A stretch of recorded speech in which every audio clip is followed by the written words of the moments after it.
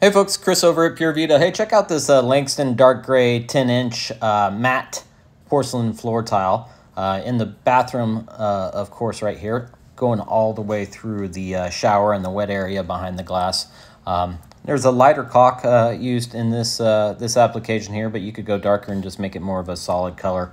Um, but I think it looks pretty sharp. These are super easy to install. install. They're floor, and you can do them on the wall too. I think there's 18 pieces per box and they cover about 11 square feet or so.